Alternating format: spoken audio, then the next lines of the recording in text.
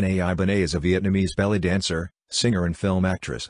Born in Saigon to a Vietnamese mother and French father, Bonet began her professional career at age 13, when she headlined as a belly dancer in a show at the Flamingo Hotel in Las Vegas. She began appearing in films in 1964 frequently portraying a belly dancer, as well as in television, commercials, variety shows, her photos adorned several album covers and she continued to appear as a nightclub headliner. In 1966 she released the novelty song Jelly Belly, and she filmed a music video for the song which was featured on Scopitone video jukeboxes. In the 1970s, Bonet decided to focus exclusively on her acting career, but I wasn't getting anywhere in pictures, she said in 1978.